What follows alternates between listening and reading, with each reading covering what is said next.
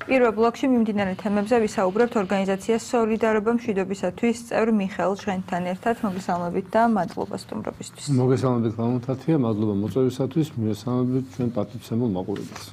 მოდი სააკაშვილის თემით დავიწყოთ, რადგან ახალი აღმოჩენა გაკეთდა მის ორგანიზმში.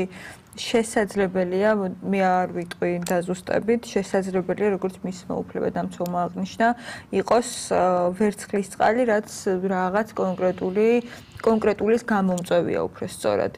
რამდენად სერიოზულად შეიძლება იყოს ეს აღქმადი და რამდენად შეგვიძლია ჩვენ ვისაუბროთ მორიგ ჯერზე იმაზე როგორ დამძიმდა ყოფილი პრეზიდენტისა და პატიმარის სააკაშვილის მდგომარეობა. აი სანამ სინქრონს უსმენდით ცოტა რაღაცა მინდოდა ამ ტოფ ადამიანზე არ უნდა რაღაც არ უნდა თქვა, მაგრამ მისმა გარემოცვამ იმდენად მისი ამ ტოფობა არასერიოზულად აქცია და ანუ ცოტა უკვე უკვე დაკარგა, როცა ადამიანი არის ავად და აი ესე არასერიოზულად ეპყრობა მისი ოჯახი, მისი გარემოცვა.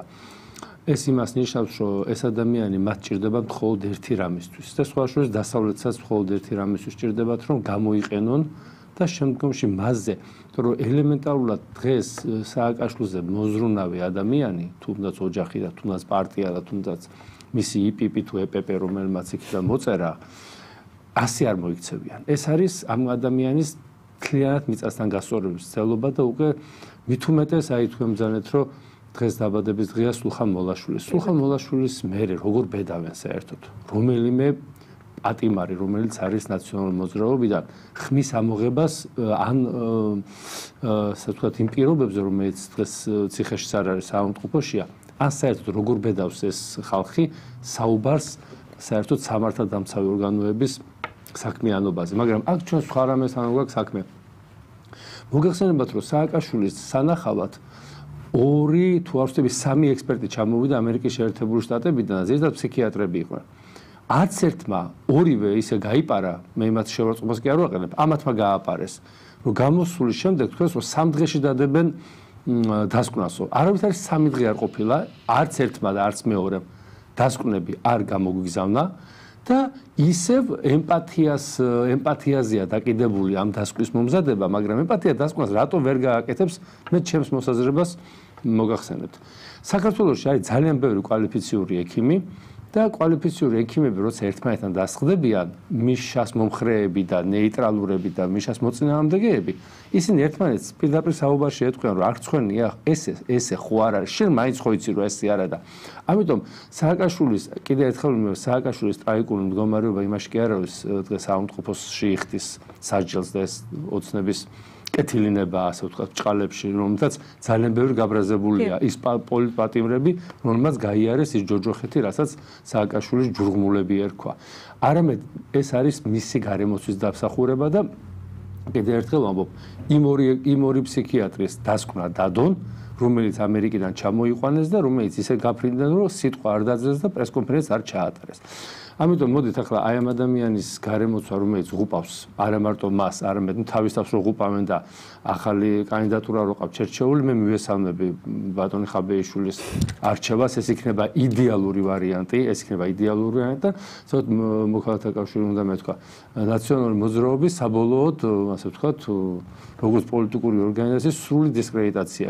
ეს მელია კიდე ჯობია ხაბეიშვილს მაინც რაღაცა ისა ხაბიტუსი მაინც აქვს და კიდე სხვა რაღაცა პატარ-პატარა ღირსებები. აი ესა ჩემი მოკლე შენა მოკლე პასუხი აი სააკაშვილის დღევანდელ მდგომარეობას და ხა ვერცხლის წყალი თვითონ ვერცხლის წყალია ეს კაცი და ალბათ რაღაცა მოვიდა. არ ნამდვილად არ მინდა ვიხმარო, მაგრამ უკვე აი ყელში ამოიყვანეს რა. უკვე სირცხვილია.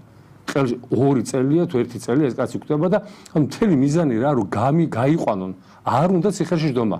ამაზეა, თორე ავადყოფ ადამიანს ყველა დაუდგება და თქვენ ხო ეს ქართველები როგორი მიტევებლები ვართ. ცოტა ხანი გაჩუმდნენ, ერთი თვე გაჩუმდნენ რა, ერთი თვე გაჩუმდნენ. მაგრამ ახლა ეს იპიპის რო იყო წერილი, ნეტა ვინ რომელმა დაუწერა საქართველოს, იმიტომ ღრმა და ვარ დაწუნებული, აი ამხელა უსტარს არც ერთი იმ პარლამენტარი, უცხოელი პარლამენტარი ამას თავს არ მოიკლავდა. აქედან გადაიგზავნა paste-ით გადაიტანეს და მე მას გასაკვე გადაიგზავნეს როგორც მისი მხარდაჭერა. კიდე ერთხელ მეორე სააკაშვილი ყველა სჭირდება აქ არეულობისთვის.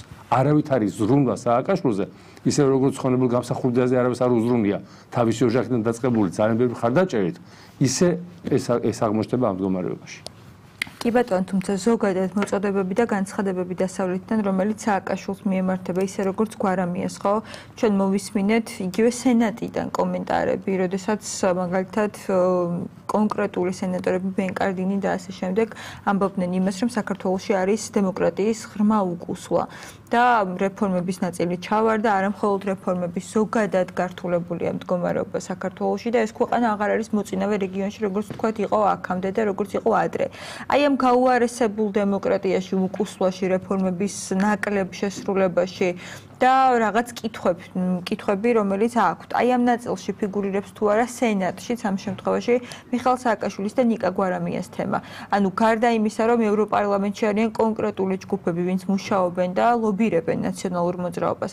ასეთები არიან თუ არა სენატში, მაგალითად კონკრეტული სენატორების სახით. რა თქმა უნდა, იქაც არის რამდენიმე კონკრეტული სენატორი, რომლებიც არიან გარკვეულწილად ალბათ ვალდებულები, ალბათ მეგობრული ურთიერთობა ან სხვა რაღაც აკავშირებს სააკაშვილსა და ნაციონალურ მოძრაობას, ამიტომ მათი ჩვენ ბევრჯერ თქვი და კიდევ ვიმეორებ რა, მათი ნებისმიერი განცხადება ეს არის პიროვნულ ურთიერთობებზე აწყობილი და რაც შეეხება დემოკრატიას დემოკრატია მოიკითხონ ახლა შეერთებულ შტატებში მიცვალებულები რო იღებენ მონაწილეობას არჩევნებში და რაც თავარია იგებენ ამ არჩევნებს ღმერთს აცხონოს უყალა. და დემოკრატია მაშინ მოიკითხონ შეერთებულ შტატებში როდესაც 20 წლის წინ იუგოსლავიის დაბომბეს 20 98 ხო? 24 წლის წინ მიწასთან გაასწორეს საერთაშორისო სამართალი და აი 24 წელი საერთოდ მოგეხსენება დიდი პროცესები. მრავალი წლის განმავლობაში ხდება ეს უცბად არ ინგრევა დიდი პროცესების. იმპერიები შეიძლება ორი საუკუნე იშლებოდეს და საუკუნე ნახევარი. აი ამ პროცესებმა მოგვიყვანა იქამდე რომ ყველა საერთაშორისო ორგანო ორგანიზაცია დაშლილია. გაერო აღარ ფუნქციონირებს საერთაშორისო ორგანიზაციები ახლა ეს რომელი ევროპარლამენტზე, ევროკავშირზე და ევროსაბჭოზე საუბრობთ, რომელიც ფიზიკურად არ არსებობს. აი სწორედ ამ არარსებული ორგანიზაციების წერილებს იმიტომ არიღებს ჩვენი ხელისუფლება სერიოზულად. ეს რომ მოხდარიყო 20-25 წლის წინ ყველა კეთილს ინებებდა. რომ ასე ვთქვათ ამ შეხმიანებას და ამ წერილებს ყური დაეგდოთ, მაგრამ დღეს სოფლიო არის დაშლილი. აგერ ქალბატონი ახალი პრემიერ-მინისტრი იტალიის უარი განაცხადა. გამოვიდა იმ ხელშეკრულებები და ტოლულების გემი უკან გააბრუნა დღეს ჩვენთან ორგანიზაციაში საუბრობთ ამაზე, ხო? ანუ საერთოდ სოფლიო წესრიგი იშლება, აი ჩვენ თვალწინ იშლება ის 70-80 წლიანი წესრიგი, რომელიც დამყარდა მეორე მსოფლიო ომის დამთავრების შემდეგ. და ამიტომ ნებისმიერი განცხადება, ეს იქნება კონგრესი, სენატი, დღეს ყველაფერი აწყობილი არის ფინანსებზე, დღეს ყველაფერი აწყობილი არის ეკონომიკაზე, რაც თავარია საწვავზე, ეს არის ენერგომატარებლების ომი არის და ნაკლებად აინტერესებს ახლა საქართველოს მოსახლეობას და საქართველოს პარლამენტს და საქართველოს მართულ პარტიას. და მთელი უბედურება კიდე რა არის თავარი არც იმ იპიპის და არც იმ ევროპარლამენტარებს არ ჯერა თავის დაწერილის. ახლა მე ღმადა ვარ დაწუნებული ზოგი სიცილი წება ზოგი კიდე იძახეს ოღონ ოღონ ეს თემა მოგაშორო იმიტომ რომ აღარ არის აქტუალური საქართველოს საქართველოს კი არა აგერ საფრანგეთის სენატმა მიიღო აზერბაიჯანის ხარდაჭერი დეკლარაცია. ეს იმდენად მნიშვნელობა შეიძლება ბევრმა არ მიაქცია ყურად, მაგრამ ძალიან მნიშვნელოვანი რამ არის. როდესაც საფრანგეთი ამას აკეთებს აზერბაიჯანის წინააღმდეგ, ეს თურქეთის გაფრთხილებაცაა. იქ რაღაც, ანუ ისეთი ისეთი რაღაცეები ხდება ჩვენს გარშემო, რომ აი ხლა აი ამ აი ამ მაპატია ყავალგასულ ორგანიზაციებზე. კიდევ ერთხელ ვიზახი და პასუხისგებელი ვარ ჩემს სიტყვებზე. ეს არის ორგანიზაციები, რომელიც არაფრის მომცემები არ არიან. არც ერთი მათი რეკომენდაცია, არც ერთი მათი გადაწყვეტილება საქართველოს არ არის მისაღები და ვინც არიან იმ ორგანიზაციებში, ისინიც გარბიან. აგერ ბრიტანეთი სოფლიო იმპერია იყო და უძლიერეს ქვეყანა. დატოვა ეს ევროკავშირი, მიხვდა რა მოდიოდა, როგორ მოდიოდა და საით საით წავად. ჩვენ გარშემო არის უფრო სხვა დიდი ასე ვთქვათ პროცესები, რომელსაც უნდა მივადევნო თვალყური და აქედან გამომდინარე აი ეს განცხადებები, ეს განცხადებები იქნება.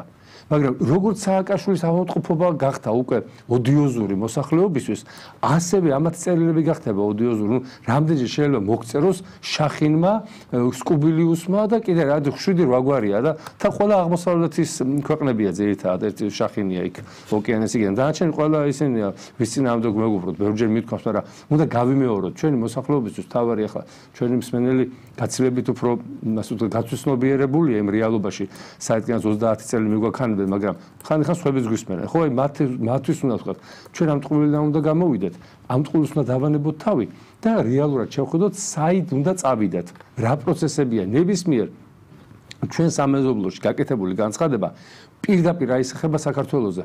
პირდაპირ მერწმუნეთ რა. და აი ეს პროცესები რაც მიდის თურქეთი, რუსეთი, აი ეს ომი რომელიც უკვე წელიწადი გახდება მალე თებერვალში ეს უბედურება ტრიალებს იქ რა რა რა რა დინებები დაიწყო იქ ამერიკის შეერთებული შტატები როგორ ელაპარაკება რუსეთს რუსეთი ჩი ანუ ისეთი პროცესები ხა რა დროს შახინის და რა დროს კუბილიუსების ასე ვთქვათ მე პირველად კი არ ვაყენებ ამ ხალხს შეურაცხყოფას. მათ ორგანიზაციებს რომელიც თვითონვე ჩამოშალა ამერიკის შეერთებულ შტატებმა. აი მეწმუნდეთ მალე ოლიმპიური კომიტეტის დაიშლება. იმიტომ რომ ოლიმპიური კომიტეტი რომელიც პოლიტიკურ ნიადაგზე არის აწყობილი და პოლიტიკური გახდა ბოლო დაახლოებით 10-15 წელი ეს ორგანიზაცია დაიშლება სამყარო დაიშლება რამდენიმე დიდ რეგიონად, რომელიც ერთმანეთს მე სხვანაირად დაუპირისპირდება. ჯერ დაახლოებით 2-3-4 წელი ჩვენ მოგვიწევს ამ დაპირისპირების გადანაწილების ყურება და მე რომ გადანაწილები და შეიქმნება სხვა სხვა ორგანიზაციები, როგორც იყო მეორე სოფლიო ომამდე 19 საუკუნეში. სოფლიო თუ არ დანაწილდა, ერთ ენაზე მოლაპარაკება მოლაპარაკება სოფლიო არ შეიძლება იმიტომ რომ ღმერთს უყვას მრავალფეროვნება. ერთ ენაზე ინგლისურად მოლაპარაკება სოფლიო დაიშლება და ჩვენ ამას თქვენ აუცილებლად მოესწრები და ალბათ მეც იმედია მოესწრები ნახოთ თუმცა სანამ ეს პერიოდი დადგება, ჩვენ ცხოვრობთ იმ მოცემულობაში, როდესაც ჩვენი მართველები მიისწრაფვიან ევროატლანტიკური კურსისკენ, ისე როგორც ევროკავშირისკენ და ასე შემდეგ. გუშინ იყო ინტერპელაციის წესით პრემიერი ღარიბაშვილი პარლამენტში და იყო კონკრეტული კითხვები დასმული სწორედ ევროსტრუქტურებში გაწევრიანებისა და ევროკომისრის ვიზიტის საკითხებთან დაკავშირებით. მოდი მოვისმინოთ ეს კომენტარები კიდევ ერთხელ, როგორი იყო პრემიერის განცხადება პარლამენტიდან და გავაგრძელოთ უკვე შეფასებით. და გადავიდე შემდეგზე. კითხვა შეეხებოდა თუ რა გააკეთა მთავრობამ იმისთვის რომ ქვეყანას მიიღო კანდიდატის სტატუსი. და როგორი არის ჩვენი მოლოდინები და რას ვაკეთებთ ახლა და როგორ ასე ვთქვათ სრულდება 12 რეკომენდაცია. მე მინდა მანამდე ყველა შევახსენო რომ მას შემდეგ რაც 2012 წლის 1 ოქტომბერს აი ეს მახინჯის სისტემა ფსევდოდემოკრატიული და რეალურად თავის შინაარსი, თავის გამოხდის ფორმებით, ყველაფერს მართლობის სტილით იყო აბსოლუტურად დეგრადირებული ავტოკრატიული დიქტატორული რეჟიმი. მაშინ რაც ეს სისტემა დაიმსხვრა, დაამსხვრია ქართულმა ოცნებამ ბიზნეს ევანიშვილის ლიდერობით. მას შემდეგ ჩვენ ჩვენმა გუნდმა ყველამ ერთად და მე დიდი ასე ვთქვათ შეიძლება ითქვას სიამაყით უნდა აღნიშნოთ რომ ჩვენ ამ გზაზე რასაც ქვია ევროპეიზაციის გზა ევროინტეგრაციის გზა ყველაზე მეტი გავაკეთეთ მას შემდეგ რაც ქვეყანა მაგედგინა დამოუკიდებლობა. ყველაზე მეტი. და მე მინდა რამდენიმე კონკრეტული მაგალითი შევახსენო ჩვენს ოპონენტებს. პირველი თავარი ჩვენი დოკუმენტი რაც არის გზამკვლევი და სახელმძღვანელო ეს არის ასოცირების ხელშეკრულება რომელიც დაგვიანებით გადმოეცა საქართველოს სამი წლის დაგვიანებით დაიწყეს რეალურად საუბარი მოლაპარაკებები წინა ხელისუფლებამ ანუ ბატონი ვაშაძის და მისი თანაგუნდელების ხელისუფლებამ ვიზა ლიბერალიზაციის სამოქმედო გეგმა მხოლოდ მას შემდეგ გადმოეცა საქართველოს და ჩვენ მოვედით ხელისუფლებაში ესეც დაგვიანებით დაიწყო წინა ხელისუფლება. და რეალურად ამ 10 წელიწადში ჩვენ მოვაწერეთ ხელი ასოცირების შედახმებას, თავისუფალ ვაჭრობას, უვიზო რეჟიმს. ახლა უკვე ამ ახალი რეალობის გათვალისწინებით დაჩქარდა რეალურად ჩვენს მიერ ისედაც გაცხადებული პროცესი და შევიტანეთ ევროკავშირის წევრობაზე განაცხადი. და ქვეყანას მიენჭა ევროპული პერსპექტივა. გამოუგნებელი იყო თქვენი ქცევა და თქვენი რეაქცია ევროკომისარი იყო ჩამოსული, ბატონი ოლივერ ვარჰი. ნამდვილი მეგობარი ჩვენი ქვეყნის და თქვენი ქართული ხალხის. კაცი ჩამოვიდა კონკრეტული მესეჯით, გზავნილით ბრიუსელიდან. და მე შევახსენებ ყველას, რომ ევროკომისარი გაფართოების საკითხებში და სამეზობლო საკითხებში არ არის უბრალოდ ევროპარლამენტარი ან რიგითი ბიუროკრატი. იგი არის ერთ-ერთი მაღალი თანამდებობის პირი. და ჩვენ ნახეთ როგორ თავს დაესხა ფელი ოპოზიცია, დესტრუქციული ოპოზიცია, რადიკალური ფორმით და გამოხატვით და როგორი შეურაცხყოფა მიაყენეს ადამიანს, რომ მათ ჩამოიტანა პოზიტიური გზავნილი და პოზიტიური შეფასება გააკეთა. ამაზე მეტი ტკისებულება რა ჭირდება ჩვენს საზოგადოებას? არ უხარიათ ამ ადამიანებს, არც ქვეყნის წარმატება, არც ქვეყნის წინსვლა, არც პოზიტიური შეფასებები. ჩვეულებრივ ხარ დაბოღმილი, გამწარებული შურით აღსილნი საშინელებაა. მოდი ვარჰეის ვიზიტის შეფასებით დავიწყოთ. განსაკუთრებით დიდი დრო დაუთმო პრემიერმა ღარიბაშვილმა ვარჰეის ვიზიტ საქართველოში განცხადებებს, რომელიც გაკეთდა და ამავდროულად ევროკომისარმა აღნიშნა ისიც, რომ დეოლიგარქიზაციის კანონი ეს არ უნდა მოიცავდეს ერთ სახელსა და გვარს. ორბანის კანდიდატი ხა, ეს არის გასაგები. კი ბატონო. რომელზეც შემდეგ სალომე სამანდაშვილმა გააკეთა კომენტარი, რომ სხვას არაფერს ელოდებოდა პუტინის მოკავშირე ორბანის წარმომადგენლის მხრიდან. ესე იგი ჩვენი ოპოზიცია არის იდეალურ ესე სასწაულებს ამბობენ ხოლმე რა თუ ვინმე არ დაეთახმა ხა პრემიერს სიტყვებს არ ვიმეორ მეც ესე ვფიქრობ იმ წუთში ხვალ რომ მაგალითად ამერიკის შეერთებული შტატებმა კარგი თქვა საქართველოსზე ნუ პირველი ინტერი გახდება რა თქმა უნდა ოპოზიციისთვის. საერთოდ ეს ბოლო ერთი კვირა ძალიან ძიმე იყო ნაციონალურ მოძრაობისთვის. იქ ამერიკის შეერთებულ შტატებში არჩევნები თუმცა ცდილობენ რომ თქვა არა არაფერი არ მომხდარა იქ ვერ გაწითლდნენ შემდგომში იყო ამ ბატონის ვიზიტი, რომელმაც პრაქტიკულად აბუჩათ აუგდო პატრონების თემაც, ოლიგარქის თემაც, კიდევ სხვა ის თემები, რომლებიც აინტერესებდა და გამოაცხადეს, რა თქმა უნდა, პუტინის აგენტის მარიონეტა თუ დანიშნულად და ამითი აჩვენეს, რომ ვინც მათი მათ მხარეს არაა და მათ ინტერესებს არ იცავს, ყველა არის მათი ინტერი. მაგრამ აქ ჩვენ შევდივართ ძალიან საინტერესო მომენტში. დღეს რო ბატონი პრემიერი ბზანებდა გუშინ უფრო სწორედ რომ ჩვენ ამდენი გავაკეთეთო მე ერთადერთი რისი აი რაც მოუწონე მე ჩვენი ხელისუფლების ევრო ინტეგრაციაზე გაკეთებულს ნაკლებად ვადევნე თვალს იმიტომ რომ ნაკლებად ჯერა საერთოდ ამ ევრო სტრუქტურებში საქართველოს ოდესმე გაწევრიანებს არასდროს ამჯერად მით უმეტეს დღეს.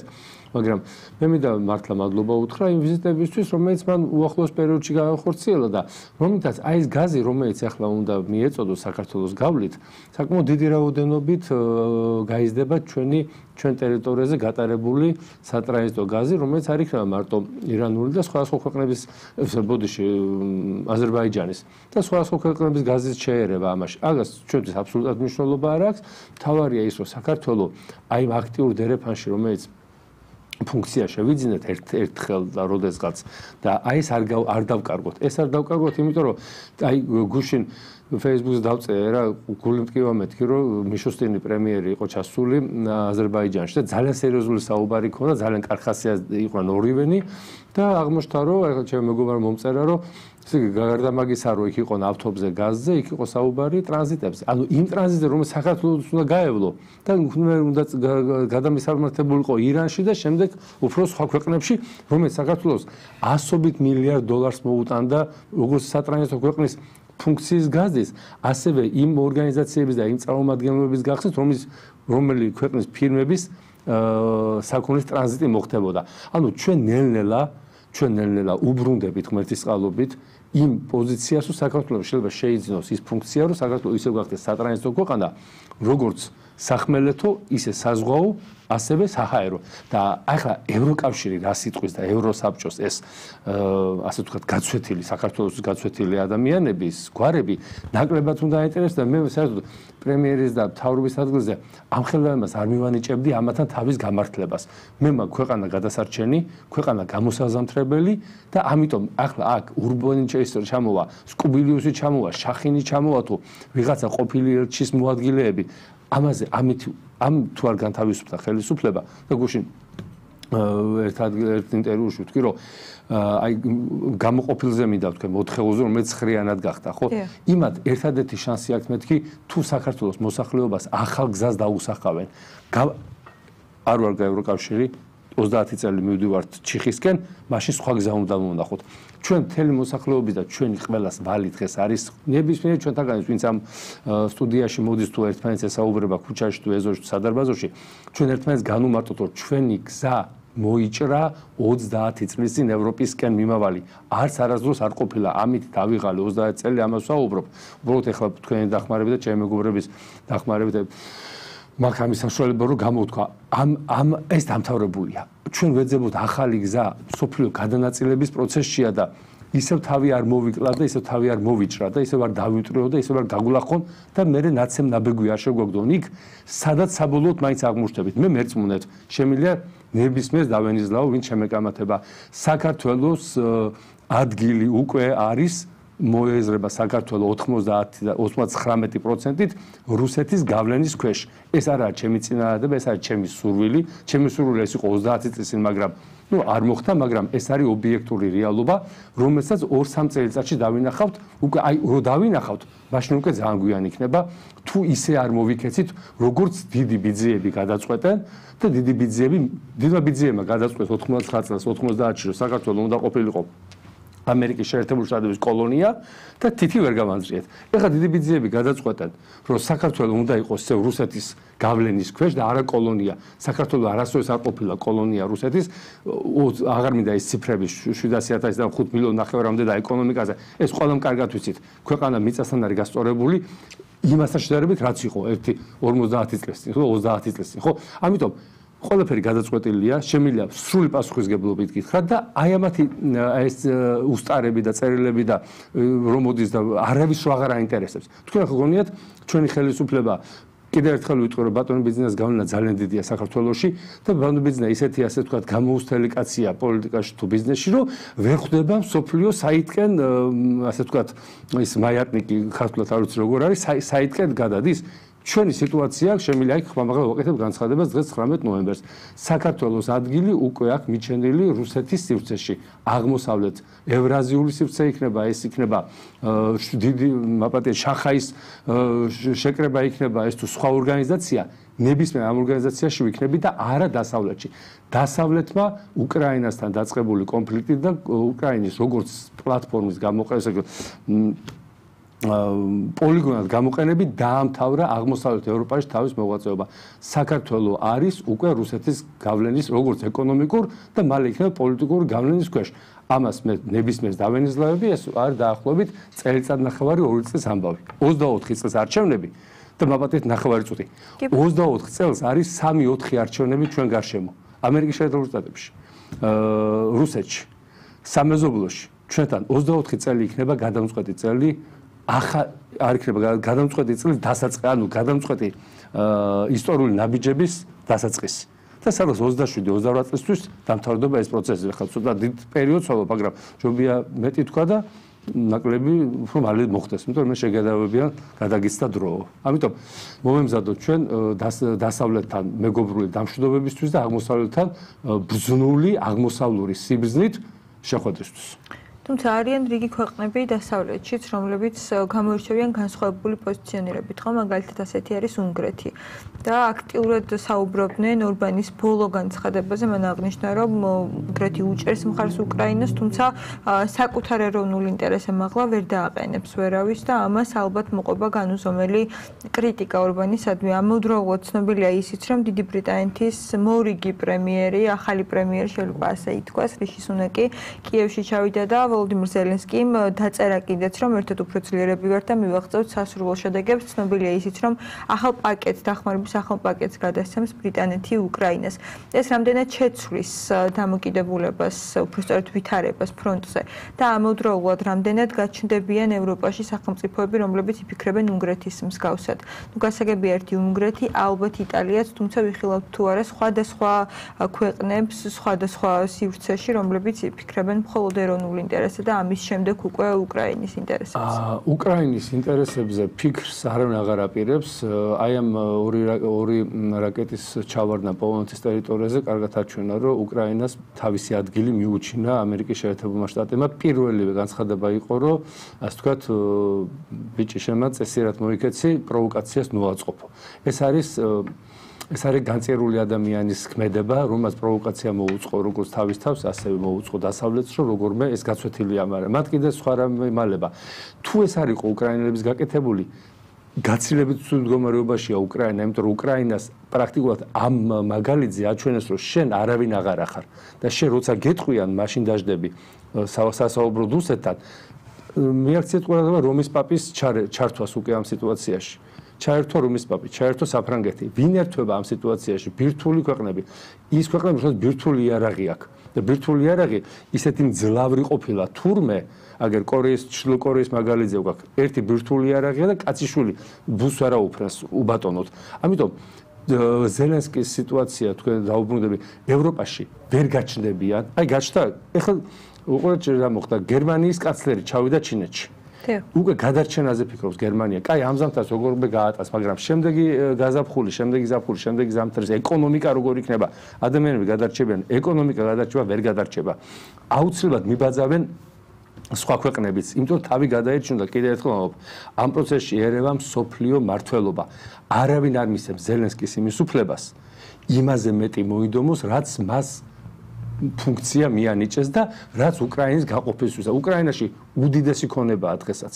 უდიდესი მილ ასობით მარტო ის ზაპოროჟიის ატომური ელექტროსადგური ხის დაახლოებით 120-დან 150 მილიარდ დოლარამდე მარტო ერთი ობიექტი. მე არ ვიცი სახნავს ათევს მიწებზე, რომელიც მეცნიერების დასკვნებით დაახლოებით 20-25 წელიწადში სოფლიოში შემცირდება ხორბლის მოსაყვანი სავარგულები. ანუ უმძიმეს სიტუაცია მოხდა უკრაინა ამ ამ ამ კუთხით არის უდიდესი ქვეყანა. აზ ყველაზე დიდი ქვეყანა ევროპაში და ყველაზე მძლავრი ეკონომიკით. ერთ-ერთი მძლავრი ეკონომიკა რო გამოვიდა საბჭოთა კავშირიდან და ყველაზე მძლავრი სოფლის მეურნეობით. და შიმშილის შიმშილის ამბავზე როა? საუბარი ეს ტყუილი არ არის. დღეს შეიძლება დღეს არა მაგრამ 5-6 წელიწადში ხორბლის სეთი დეფიციტი დადგება რომ აი უკრაინისნაირი ქვეყნები იქნება ასე ვთქვათ საძებარი სანთლით ამიტომ ეს ომი დამთავრდება ალბათ იანვარ-თებერვალ მარტში.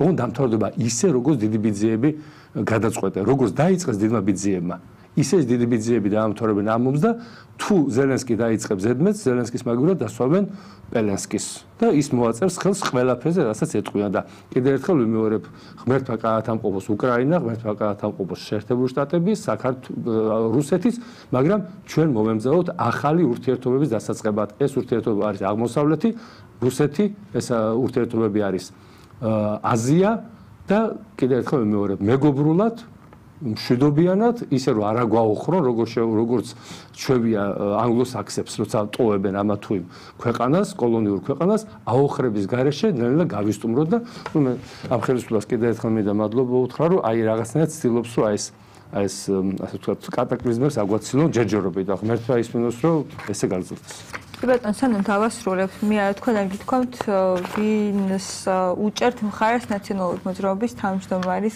თავმჯდომარეთა როგორ არ თქვი? რასლა რა თქმა უნდა ხაბეიშვილს, ხაბეიშვილს და მხოლოდ ხაბეიშვილს მე მიმართავ ჩემ მეგობრებს ნაციონალურ ყველა ხაბეიშვილს მიეცით ხმა. ეს არის ეს არის ეს იქნება საქართველოსთვის რა ვიცი პროგრესი და გადადგმული ნაბიჯი მხოლოდ ხაბეიშვილი. რაზეა საუბარი? აბა სხვა სხვა ვინ მოიაზრება იქ? ხაბეიშვის მის უკან ედგა. იმათ სახეები უნდა განახა წარდგენაზე. და მე ვილაპარაკო არ უშავს ჩვენ მაგაზე არ ვიღელოთ ნაციონალურ მოძრაობას მოზდის ის რაც დაიმსახურეს ხალხისგან არა.